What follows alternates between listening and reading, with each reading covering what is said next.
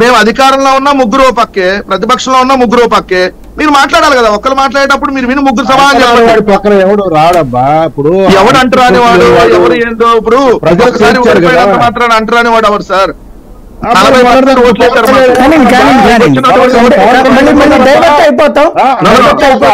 కళ్ళు మీద ఏం మాట మాట్లాడారు?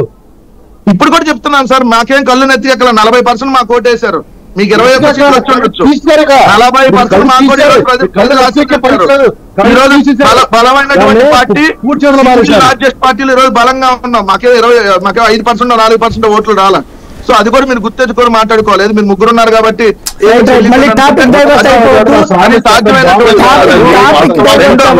ఒక్క నిమిషం, సాయి. గారు సాయి గారు వాళ్ళు మాట మాట? అసలు టాపిక్ నుంచి పక్కకు వెళ్ళిపోతున్నాం. మనం మెయిన్ సామాజిక సమీకరణాలు కోట్ చేశాను.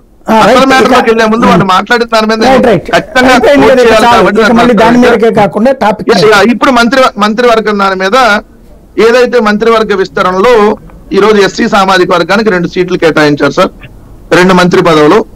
అది కూడా ఉత్తరాంధ్రకు సంబంధించి ఒకటి వచ్చింది. ఈస్ట్ వెస్ట్ కృష్ణా గుంటూరు జిల్లాల్లో ఎస్సీ సామాజిక వర్గానికి సంబంధించి ప్రాతినిధ్యం ఎక్కడా లేదు. రాయలసీమకు సంబంధించి కూడా ఎస్సీ సామాజిక వర్గానికి ఎక్కడ ఒక సీటు కూడా ప్రాతినిధ్యం లేదు. ఇరవై తొమ్మిది ఎస్సీ నియోజకవర్గాల్లో ఇరవై ఏడు ఎస్సీ నియోజకవర్గాల్లో కూటమి గెలిచింది. అంటే తెలుగుదేశం జనసేన బీజేపీ కూటమి అభ్యర్థులు ఇరవై ఏడు ఎస్సీ ఎస్సీ నియోజకవర్గాల్లో గెలిస్తే కేవలం రెండే రెండు మంత్రి పదవులు ఎస్సీ సామాజిక వర్గానికి ఇచ్చారు. ఇరవై ఏడు హైయెస్ట్ గెలిచింది. ఒక సామాజిక వర్గంలో ఇరవై ఏడు సీట్లు ఏదైతే ఎస్సీ రిజర్వ్డ్ నియోజకవర్గాల్లో మా దగ్గర కూడా పోయింది సార్ ఇరవై ఏడు ఒక్క నిమిషం ఒక్క నిమిషం సార్ ఒక్క నిమిషం. కంగారు పడుతున్నారు.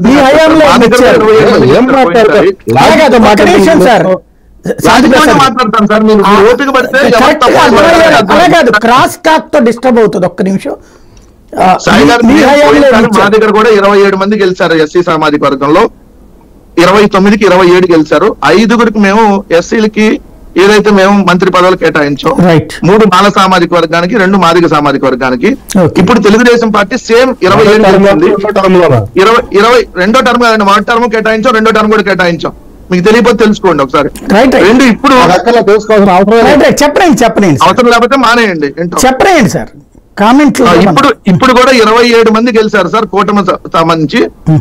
ఆ కూటమి సంబంధించి గెలిచిన ఇరవై ఏడు మందికి కేవలం రెండే రెండు మందికి ఎస్సీ సామాజిక వర్గానికి. అవకాశం ఇచ్చారు.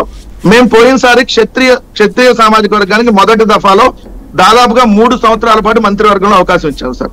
చివరి రెండు సంవత్సరాలు తీసేసిన మాట వాస్తవమే. దాన్ని మేము బీసీలు కేటాయించాలని బీసీలు కేటాయించాం. బట్ ఇప్పుడు ఈ రోజు క్షత్రియ సామాజిక వర్గానికి ఈ కేబినెట్లో అవకాశం లేదు. ఎందుకంటే మీకు తెలుసు అక్కడ విజయనగరంలో అశోక్ గజపతిరాజు గారి ఫ్యామిలీ ఎప్పటి. నుంచో తెలుగుదేశం పార్టీకి అండగా. నిలబడింది. Hmm. అక్కడ అవకాశం దొరకలేదు. అదే విధంగా మీరు చూస్తే వైశ్య సామాజిక వర్గానికి కూడా వయసు. వయసు వచ్చింది సార్. బ్రాహ్మణ సామాజిక వర్గానికి. బ్రాహ్మణ సామాజిక వర్గానికి ఈ కేబినెట్లో అవకాశం వాళ్ళు ఇవ్వలేదు సార్. రెండో మంత్రి వర్గంలో వాళ్ళిద్దరికి లేదు కదా? రెండో